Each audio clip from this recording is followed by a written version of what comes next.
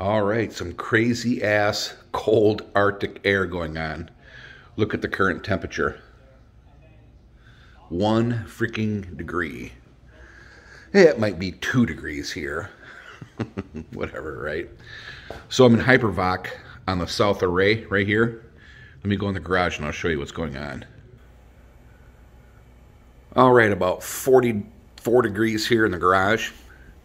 Normally high voltage is a good thing, but too high a voltage, uh, it's called hyper voltage open circuit.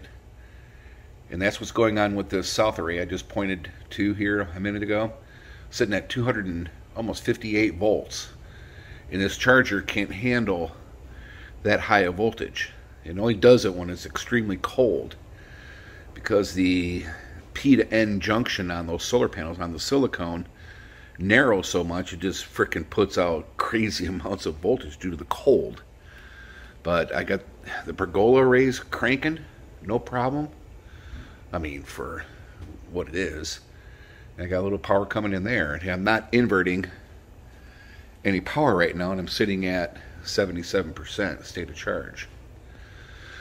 So, I mean, I'm not making much solar power anyway, but uh, it sure would be nice to have this thing working. But uh, it's just too damn cold to operate it.